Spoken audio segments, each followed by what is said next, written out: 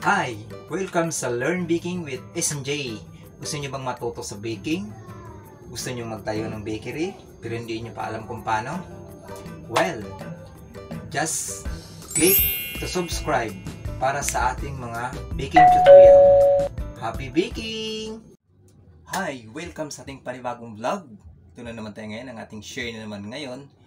Ah, ito'y paliwanag ng ah, share natin sa mga klase ng arena sa nauna nating video. Marami nang comment doon na saan ba talaga ang ah, dapat ang first class, third class, cake flour, all purpose saan ba talaga nila pwedeng gamitin para maging angkop sa kanilang ginagawa? So guys, ito nang inyong ah, hinihintay na kasagutan sa atin. Ah, ito'y papaliwanag ko sa inyo. Disclaimer lang po ito'y ah, personal ko lang talaga na experience sa paggamit ko ng mga iba-ibang klaseng flowers sa ating ah, 20 years experience sa ating pagbe-bake. So guys, dyan lang kayo. At ah, kung gusto niyo ng ating video, please do subscribe. At maraming maraming salamat din sa pag-follow ng ating Facebook page. Sa aming mga subscribers, followers, maraming salamat sa inyo. Ano pang hinintay natin? Let's go! Guys, ah, may tanong pala dito sa atin ng ating subscriber.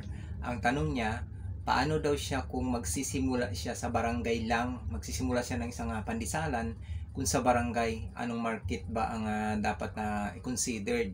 Kumbaga, ah, kahit sa barangay lang, ah, pwede ba siyang mag pandisalan or mag baby Okay, ma'am, sir, hindi lang naman ikaw lang nagtatanong niyan, napakadami na din. So, ang ah, aking sagot dyan, kung sa barangay ka magpandisalan, unang-una kumuha ka muna ng barangay permit. So, make sure lang na makumpleto mo yan bago ka magsimula or to be followed, pwede naman. Ang ating market, ah, marketing natin sa barangay, kung sa barangay ka lang, even sa probinsya ka, kung saan ka mang region, ang ah, aking uh, advice sa inyo, ma'am, na ah, susuriin nyo munang lugar kung gaano karami ang mga nakatira or gaano ka may potential ba talaga sa ah, mamimili ang inyong lugar. Kailangan nyo munang i-observe yan within a month or ah, or two weeks or one week. Pwede nyo nang i-observe yan. Ngayon, ah, ang mangyayari dyan, kung nagsisimula ka o- at ah, tinitingnan mo na kung inaakala mo na kukunti lang ang inyong ah, magiging buyer sa inyong barangay. No problem yan, ma'am. Hindi naman siguro dahil may, may barangay tayo, sigurado yan, meron naman tayo niyang, ah, meron naman tayong ah, masasabi natin na ah, lungsod, kumbaga, or pinakabayan. Ngayon, sa bayan na yan, maaring pwede ka diyang maglalagay ng, ah, pwede ka maglalagay ng ah, pwesto, kumbaga, or halimbawa, araw ng palengke, linggo, or kaya biyernes, pwede po kayong maglalagay ng pwesto doon. Or halimbawa, meron kayong ah, ah, tricycle, pwede nyo pong ipang-deliver tuwing umaga ang inyong ah, pandesal. Kasi ma'am, kung nilalako natin yung pandesal sa Kalartig Barangay or sa bayan mismo, mas marami ang ah, makakilala sa atin at makakabili ng ating produkto doon sa ating ah, pandisalan sa ating business na pandesal. So sa pa sa sa pagkakataong yan, ma'am, inyo nilang ma makakuha din kayo ng ah, observe, ma-observe nyo rin ang lugar yung pinupuntahan na dito, pwede ba ditong mag-pwesto ng isang ah, maliit lang para lang sa ating pandesal kung yun talaga ang inyong gusto or samahan nyo na ng sari-saring tinapay para hindi lugi sa ating upa.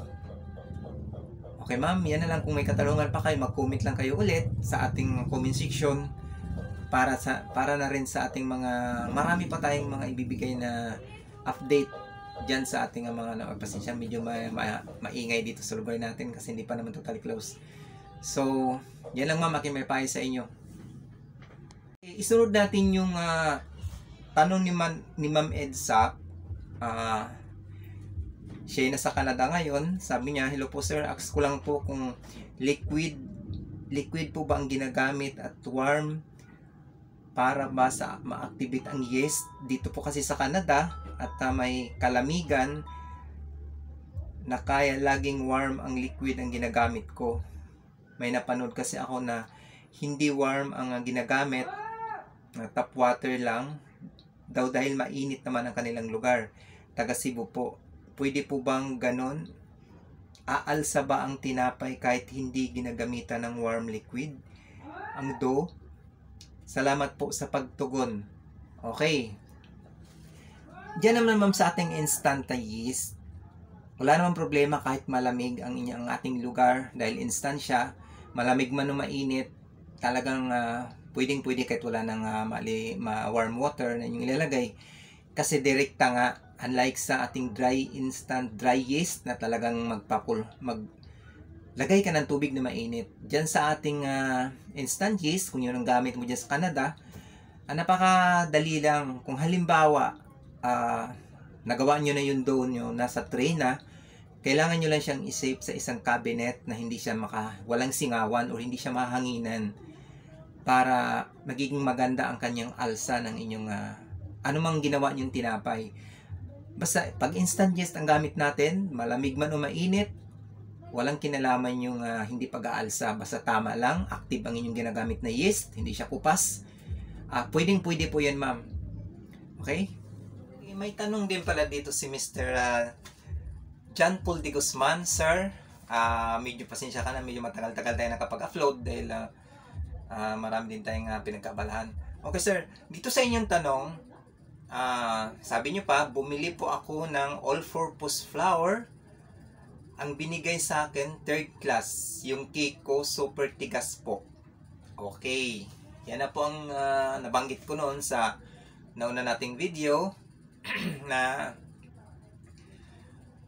anumang ginagawa natin at anumang nakokopya natin doon sa ating uh, sabihin na natin doon sa ating recipe na kinukuha hindi po talaga natin may masisiguro yan na ang ating binibili basta per kilo-kilo lang ay uh, halimbawa bum, sana sabi niyo pa bumili kayo ng all purpose binigyan po kayo ng third class.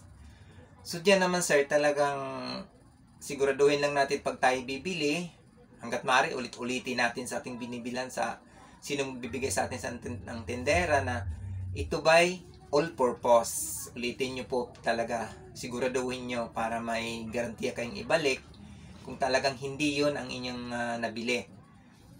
Kasi ang ating all purpose, ito ay babahagi ko sa inyo talaga kasi matagal naman talaga ako uh, naka-experience sa arena na ating gamit Sir, doon sa all purpose, alam naman talaga natin na or alam naman ng karamihang mga baker or sa mga baguhan, ang all purpose flour talaga ay pangkalahatan po na gamit natin. So dahil uh, sinabing uh, pangkalahatan, lahat po ng klaseng tinapay ay pwede nating gamitan ng all purpose flour. Yun nga lang, kung talagang uh, yan ang gagamitin mo, mahirapan tayo sa costing or uh, alam naman natin na napakamahal ang all-purpose flour. So, kailangan talaga, ang ating, uh, kung sa atin-atin lang, pang, uh, hindi natin pang negosyo, ang gamitin nating uh, flour ng tinapay natin ginagamit, yung nababagay lang sa kanya. Kasi ang all-purpose talaga, pang alternate lang yan kung wala yung talagang flour na ating gagamitin na angkop. Halimbawa, gagawa tayo ng loaf.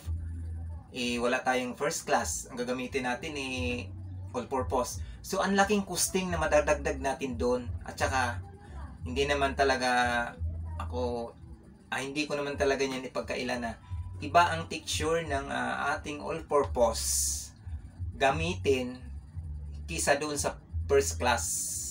Malaki pong pagkakaiba. Pero, okay pa rin siya talagang pamalit. Ang diferensya lang talaga doon, may kamahalan talaga. Halimbawa, ang nabili niyong all-purpose, ang binili nyo all-purpose third class, tapos yung nag nagamit nyo sa cake, sigurado talaga yan matigas. Kasi ang third class natin, eh, sa mga hindi pa nakakaalam, ang third class natin ay pwede natin siyang gamitin 50%. Meaning, nasabi na kung 50% dahil ang uh, third class natin pwede nating ihalo sa cake flour, pwede nating ihalo sa all-purpose, pwede nating ihalo sa first class. Depende po yan sa recipe na ating gamit or sa tinapay na ating gagawin. sa pag ginawa kung halimbawa gusto nyong uh, ganyang uh, procedure o ganyang tema uh, kailangan ni alamin nyo kung anong klaseng tinapay ninyong gagawin.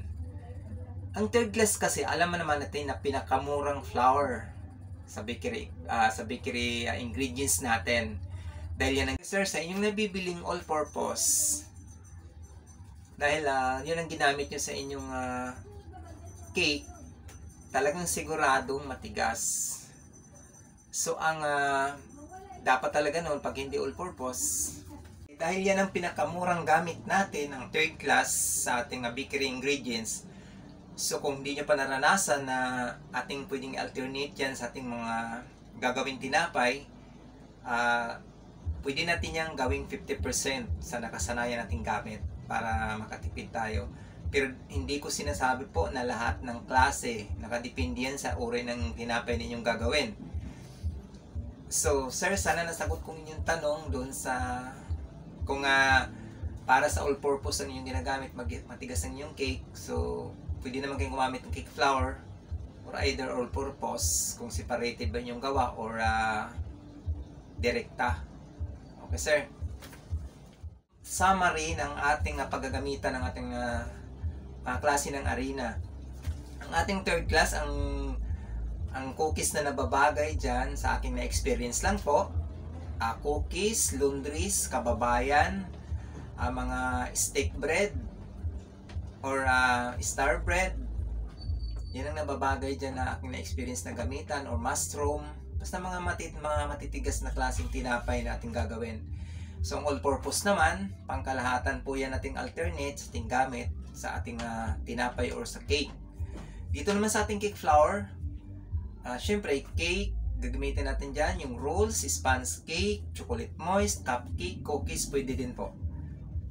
Sa atin namang whole wheat or tinatawag nating whole wheat flour, siguro hindi hindi ganong familiar sa ating uh, mga baguhang baker or mga baker na gumagawa kasi yun may kamahalan talaga ang ating uh, wheat flour, yung ating whole wheat flour ito yung nagagamit lang sa ating mga loaf uh, anumang klase din pwede natin gamitan pero masilan nga lang siya. Masilan madaling bagsakin hmm. kaya kailangan din siyang uh, sa recipe na eksakto ang uh, kanilang mga ingredients. Pero napaka healthy ang ating uh, whole wheat flour gagamitin. Ito ay makikita nyo sa malalaking supermarket. Nakalagay naman yung whole wheat bread whole wheat loaf bread ang uh, nakalagay. Ay yung bumili napakaganda sa napaka ano napakatabang din ang kanilang timpla diyan ang timpla natin diyan sa ating uh, whole wheat bread okay? Na nagustuhan yung ating video share ngayon. Uh, may naliwanagan kayo sa uh, flour natin gagamitin. Basta especially sa banggitin natin ating pandesal napakagandang gamit natin gamitin yung arena sa ating pandesal ay syempre number one ang ating first class. Pero kung gusto niyo makatipid dyan uh, mag-alternate kayo ng third class.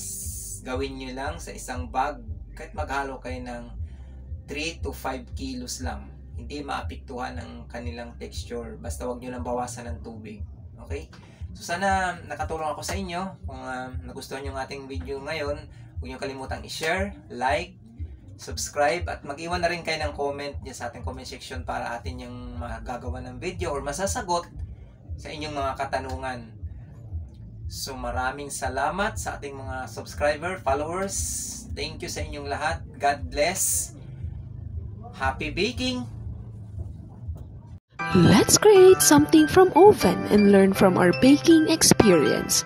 For more baking tutorial videos, let's stay connected and feel free to reach us out on our different social media platforms.